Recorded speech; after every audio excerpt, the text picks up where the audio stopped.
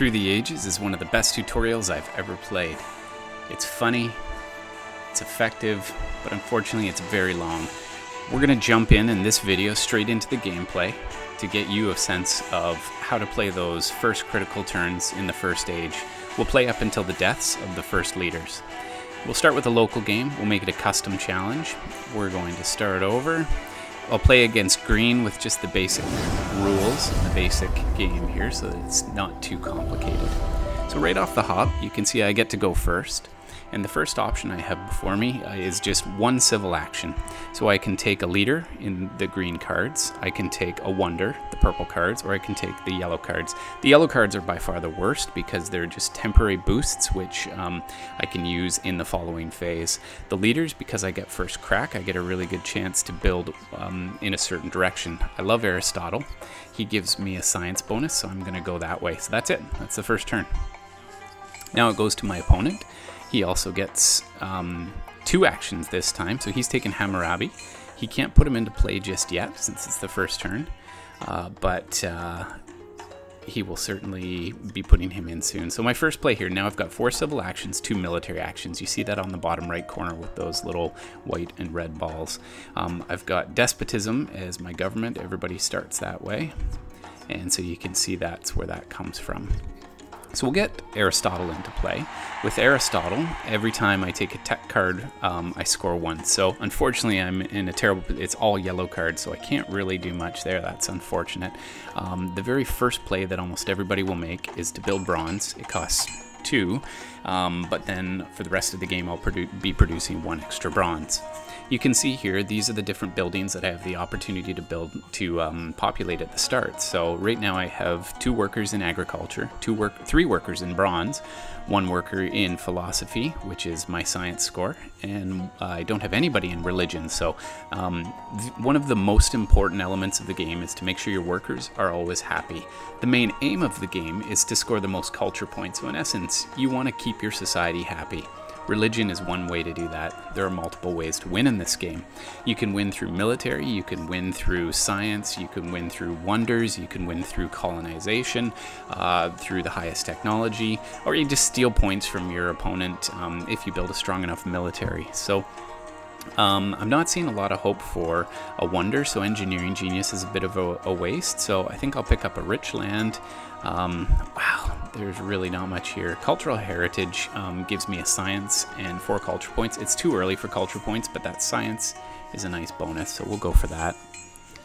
Jump straight into my opponent's turn. Um, you can see I get two cards at the end of my turn because I had two military actions left over. So, and he'll get the same on his turn. Now, there's also a set of cards. Um, we're getting into the stage soon where uh, political actions are going to be played. So we can zip over to Green's board and see what he's done. This is called scouting. You want to make sure that uh, you know what he's up to. So he did the same opening move with bronze. We can also skim across his warriors. He still has one. So um, at this stage, uh, you can see I can play Crusades. Uh, we're both at one, so I think I'll do that. And Crusades basically is the strongest civilization scores four, weakest loses four. So that can be, at the end of the game, uh, quite an important difference. So I can build an AJ temple if I have a worker idle. I do not. So often early game, it's good to get a worker idle. Um, so I don't have a choice there. And to get a worker idle, you basically just need to pay them with food, like so. And then they will sit on your docks until you assign them. It's going to cost me $3 to put them um, somewhere. So at this point, um, I probably want to get my happiness going. Uh, gives me a culture point as well. So we'll start with that. Um, I can play a tactics card now, which means when I get uh, an infantry and cavalry together, I get an extra two points there. Um, but because the card, I'm not really seeing a lot. I could take this drama, that scores me an extra science. Um, I think I will do that because you want to play to whatever benefit you get. So I'll get two cards here for military. Drama's going to set me up. So really I'm looking at a, a, culture and science sort of development here. Whatever path you take, you tend to um, develop that singular path because it's too expensive to diversify too much. So the development of warfare on my turn, I can build a warriors unit for free if I have an idle worker. I do have an idle worker. He does as well. So he's going for swordsman, so I need to be very cautious. He's also got iron set up nice and early. I need, there's only two irons in the, the card row, so I need to get the second one. Uh, he won't be able to take it. But um, so for politics, I'm gonna risk there being a, a weak society. No, okay, it wasn't there, so um, I can score um, science, food, and uh, money, which is great. I, I do not have a worker, so I can't do anything there. So it um, would behoove me to take more uh, tech cards, but they're just not coming up. So this really isn't working out too well for me.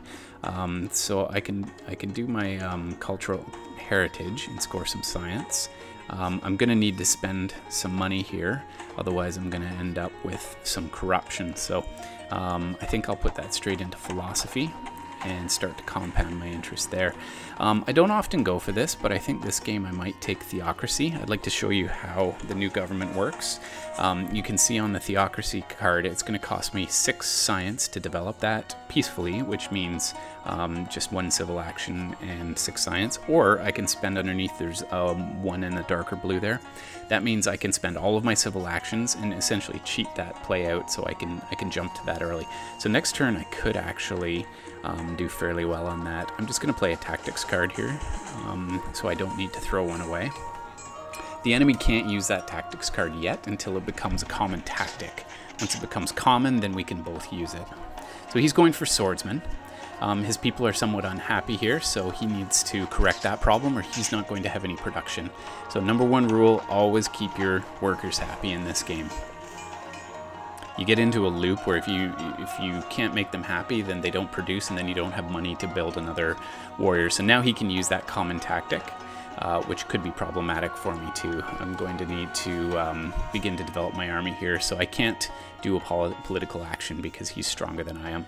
But I think I will develop Theocracy. I'm going to develop it peacefully for six because my science is in good shape. I can actually get um, drama going, but I think I better switch over to um, wow, okay, I really need irrigation. Um, I'm going to switch over to Genghis Khan because um, I need to start, uh, for tactics purposes, I need to get um, another um, warrior in there. That puts me up to three. Now, if I play this tactic, that gets me to five because Genghis Khan's bonus is that um, my infantry units can be considered cavalry. So even though I don't have cavalry, I've, I've essentially cheated that out. And next turn, I could possibly use a raid against him. He's got two cards, so he could probably defend against it, but um, we'll see how that works out. So not a bad turn for me. It's um, I've got a better government now which is producing um, some military and an extra military action, so I'm going to get more military cards. So it's great if you can start to compound your advantages over your opponent. So he has tied me, so I cannot attack him anymore, so I'll have to skip that phase. And that becomes a common tactic as well. So we'll have to skip this phase. And uh, irrigation, so you can see I'm only producing one food, and uh, that can be a problem for me later. So I better get some irrigation going, and we'll develop that with rich land. So that card is now coming um, to help me. So, um, I've already got iron going, which is, um, oh, no, I do not have iron going, so that is going to be a priority. Get that there, and next turn I'll have three plus two iron or science so I can produce that. So that is the end of the turn.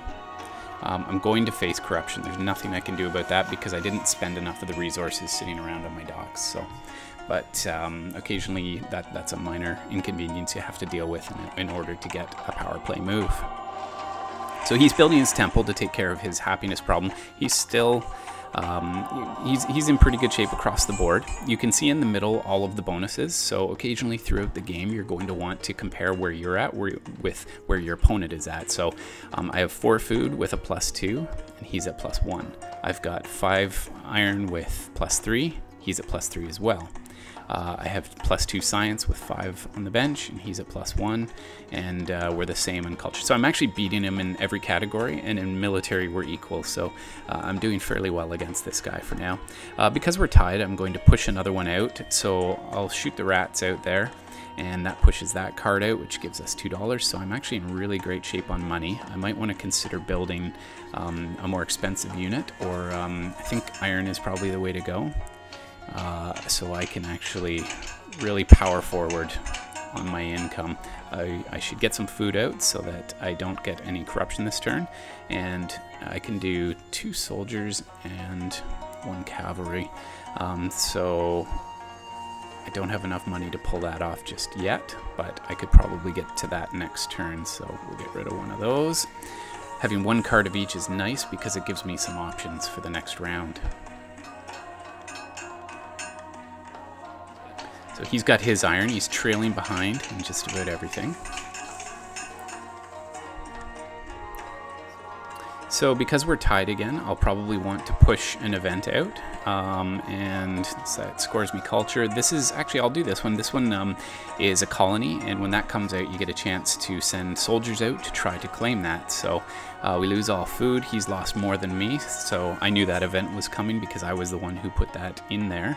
Um, so at this point, I've got a bit of money. I don't have a lot of food. I'm going to need to get my agriculture up uh, because I need to produce at least three food every turn so I can get a fella going. So knights are a great option because now I can permanently get that, that knight bonus.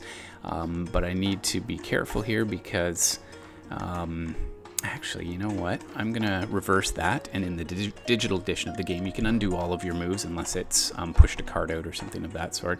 I'm going to do Swordsman so I can start to um, elevate those swordsmen up to the next level. Next turn, I'll have four science necessary. So you can see I'm starting to fall behind on my science, so I'm going to need to um, make that switch. So I'll pull Alchemy there.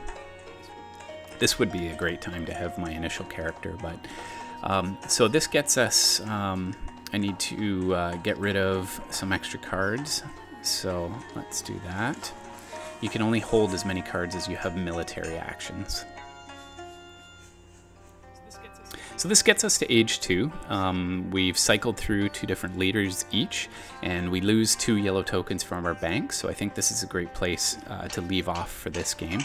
Um, this has been Legendary Tactics. If the video has been helpful to you in working through some of the rationale of why you would make some strategies or some picks, then please like the video, subscribe.